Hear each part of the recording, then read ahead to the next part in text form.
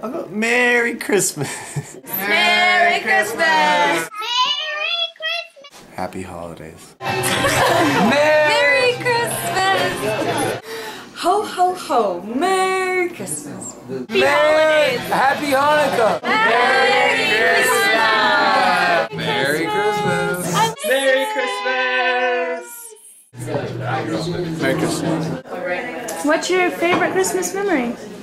Christmas at my grandma's awesome. Uh, I have a big Greek family, and you know, it wasn't Christmas until like drug paraphernalia was discovered in the bathroom, or there was a fist fight or something. But the kids never knew about it because we were all super occupied with all the presents. So that was Christmas at grandma's, like for most of my childhood. I woke up Christmas morning and there was a puppy dog under the tree. Either 95 or 96. Uh, and we had just moved into my house in Pine, Colorado. had the whole family.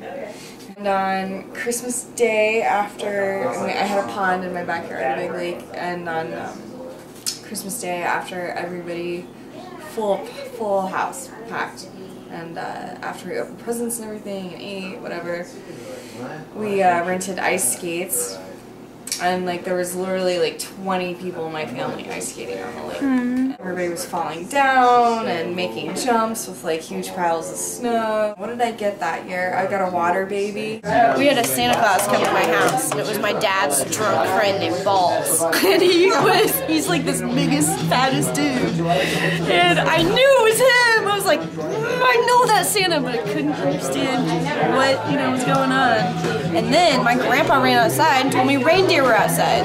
So I searched for reindeer for like 30 minutes, and there was none. But it was a really good Christmas. Balls and reindeer. There was a time when uh, we got back from a Christmas party. It was like me and my, my folks and my family, and um, my parents were wrapping gifts in the other room. And my dad discovered, like through through the wrapping of gifts, discovered a, a, an old Halloween costume, and he came out in a pumpkin costume, and we wearing nothing but the pumpkin costume, and just started like dancing. We ran out of power for like five days, and one of those days was Christmas. And smoked pot for the very first time. When I was five years old, we were at the Burlington Mall. We waited in line to see Santa for almost three hours. By the time I had to get up to see Santa, by the time we made it, I've been waiting for so long. I didn't want to tell my parents that I had to pee because that would mean getting out of line.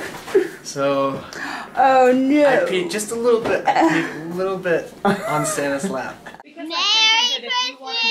Dad in seventh grade was so drunk and he made a fool of himself in front of all our family and he even tried to fight my sister.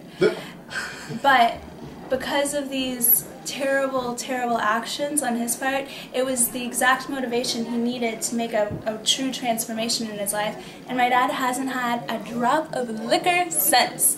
Since And that Christmas. Since that Christmas, yeah. So something that can seem sort of terrible in one instant actually can produce something quite wonderful. And that's what Christmas is all about, right? Crazy family mishaps. Yeah, girl. so, So the year that I was so bad, I only got a rock for Christmas. And then my older brother tried to make me feel better and told me that I could paint it and make a really cool doorstop out of it.